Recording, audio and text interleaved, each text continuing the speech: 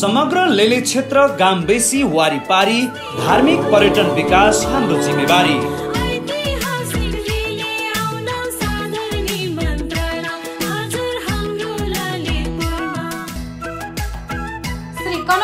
My लेले धार्मिक महामहोत्सव दुई हजार छयत्तरमा हार्दिक निमन्त्रणा।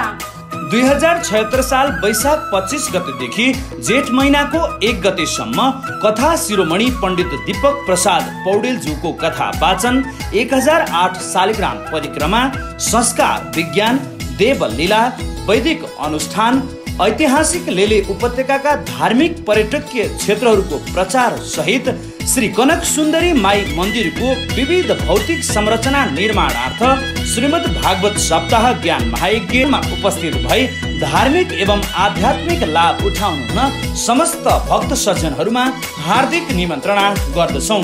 कार्यक्रम हुने स्थान श्री कनक सुन्दरी मन्दिर प्राङ्गण साहु गाउँ लेले गोदावरी नगरपालिका पाँच ललितपुर।